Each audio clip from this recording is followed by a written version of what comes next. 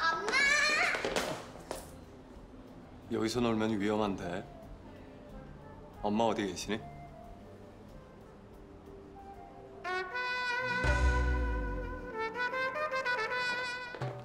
혹시 혹시 이 아이의 엄마 되십니까? 이 인간이 또 애 타령. 저 애 엄마 아니라고요. 애 없다니까. 또 무슨 말을 하시게요? 하지 마세요. 애 없다니까. 진영아. 엄마! 오해가 있었네요. 또 또 그놈의 오해.